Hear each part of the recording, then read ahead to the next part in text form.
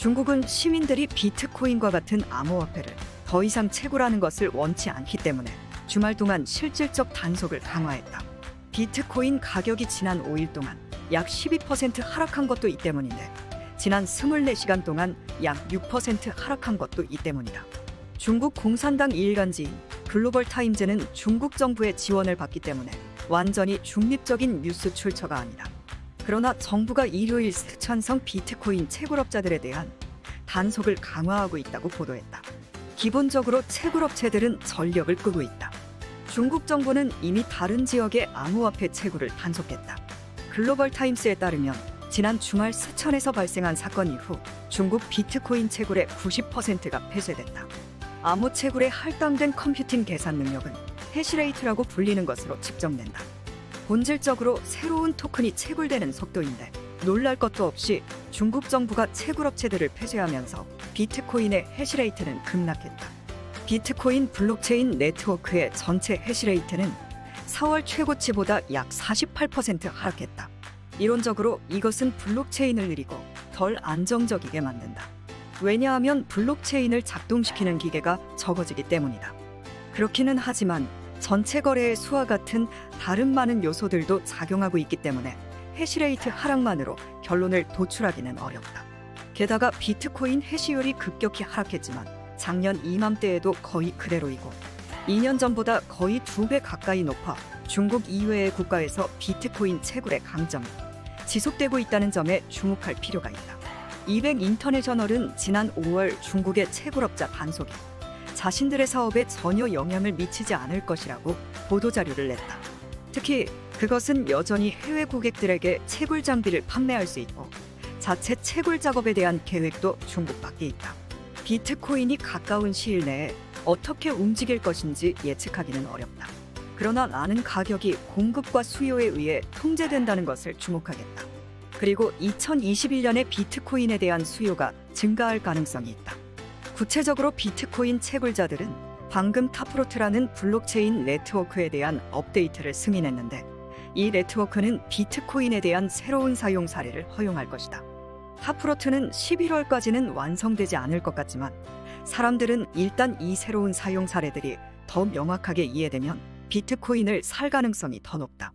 한편 중국의 억압을 피해서 BTC 채굴자들은 특히 미국으로 그들의 작전을 해외로 옮기기 시작했다. 낮은 전기 가격은 채굴자들을 텍사스로 끌어들였는데 텍사스주는 또한 친암호 정부를 가지고 있다. 이달 초 그렉 에보트 주지사는 암호화폐 투자를 위한 법적 틀을 만드는 법을 통과시켰다. 한편 플로리다 마이애미 시장인 프란시스 수아레즈는 최근 중국에서 온 채굴자들을 환영할 것이라고 강조했다. 그는 마이애미가 값싼 원자력을 감안할 때 에너지 집약적인 채굴 작전에 이상적이라고 언급했다. 중국의 채굴업체 비트마이닝은 자사의 암호화폐 채굴기 1차 배치를 카자흐스탄로 이전한다고 발표했다.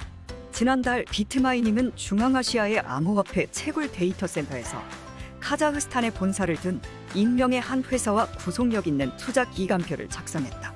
비트마이닝은 총 전력 용량이 100메가와트인 카자흐스탄 채굴 데이터 센터를 공동으로 건설 운영하기 위해 933만 달러를 투자할 계획이다.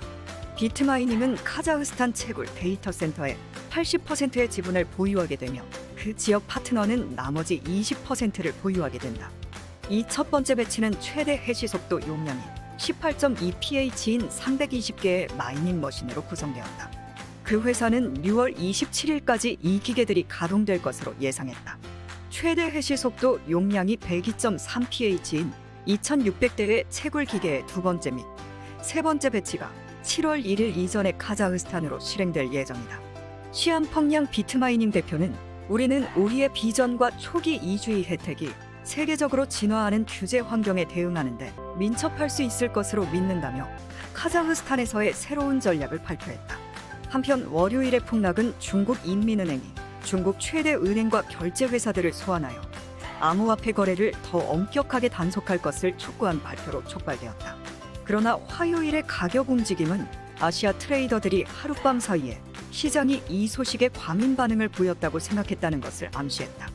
중국의 암호화폐 금지는 새로운 것이 아니다. 암호화폐 거래소 이큐온엑스의 판매 책임자인 저스틴 다네다는 어제 나온 것은 올해 초 이전의 금지 발표의 4분에 가까웠다고 말했다. 그는 항상 그렇듯이 레버리지, 대규모 참가자, 펀더멘털 측면의 이슈들은 암호화폐가 극적으로 움직일 수 있다는 것을 의미한다고 말했다. 주말 동안 4만 달러에 달하는 또 다른 시도가 실패한 후 비트코인 가격 조치가 3만 달러대 초반으로 돌아왔다. 황소의 노력은 점점 약해지고 있으며 심지어 매일의 시간대에 데드크로스를 초래하고 있다. 그러나 그들이 단순히 약세를 가장하고 공매도 거래자들을 쥐어짜고 순식간에 가격을 더 높게 밀어낼 준비가 되어 있을 수 있을까?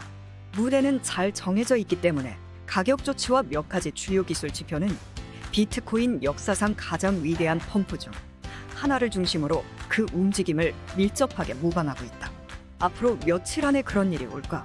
시장은 순환적이며 추세는 수년, 수개월, 수주, 심지어 수일 동안 확장될 수 있다. 기술 분석가들은 추세의 가장 초기 징후를 잡고 가능한 한 그 추세를 이용하려는 것을 목표로 하고 있다.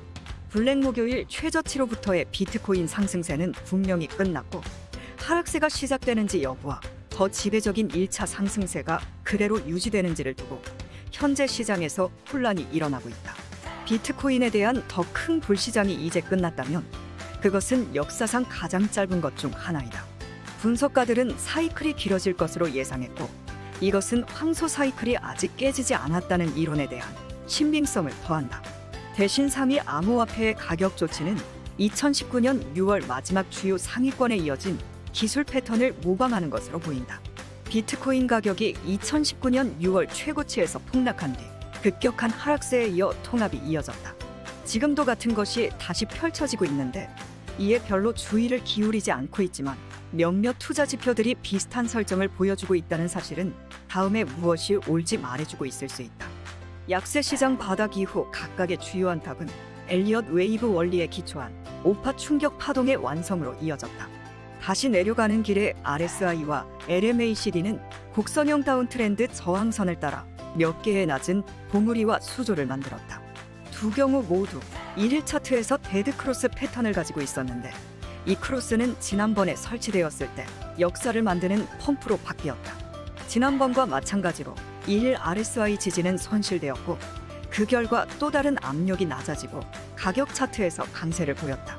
지난번 LMACD는 또한 하루 단 한 번 일시적으로 건너갔고 그 후 데드크로스 위로 폭발적인 움직임이 뒤따랐는데 이는 이틀에 걸쳐 40% 이상 움직인다. 비트코인의 비슷한 비율 상승은 암호화를 4만 5천 달러 이상으로 되돌려 보내고 5만 달러의 저항에 이르게 할 것이다. 그 수준을 다시 상회하면 bull 시장이 여전히 가동되는 반면 현재 수준에서의 또 다른 더 깊은 폭락을 완전히 배제할 수는 없다. 엘리엇 웨이브에 따르면 훨씬 더 깊은 조정이라도 최저만 4천 달러까지이고 불시장은 깨지지 않을 수 있다고 한다.